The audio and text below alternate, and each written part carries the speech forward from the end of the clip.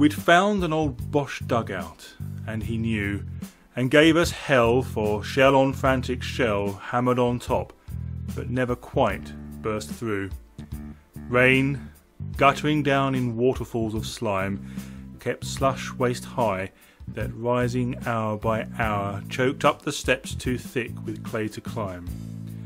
What murk of air remained stank old and sour, with fumes of whiz bangs and the smell of men who'd lived their years and left their curse in the den, if not their corpses.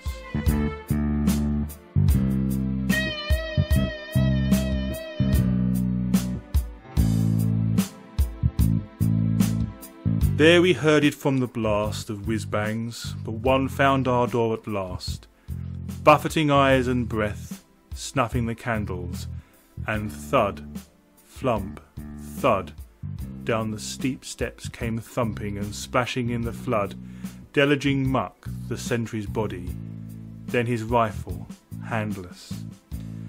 Old Boche bombs and mud in ruck on ruck, we dredged him up for killed until he whined, Oh, sir, my eyes, I'm blind, I'm blind, I'm blind!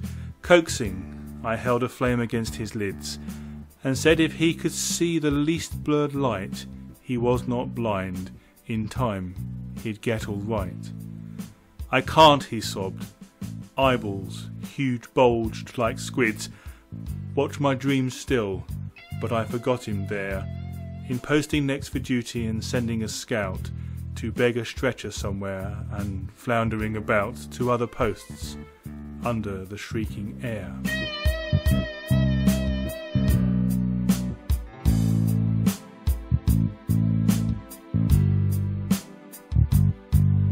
Those other wretches, how they bled and spewed, and one who would have drowned himself for good, I try not to remember these things now. Let dread hark back for one word only how. Half listening to that sentry's moans and jumps, and the wild chattering of his broken teeth, renewed most horribly whenever Crumps pummeled the roof and slogged the air beneath. Through the dense din, I say, we heard him shout, I see your lights!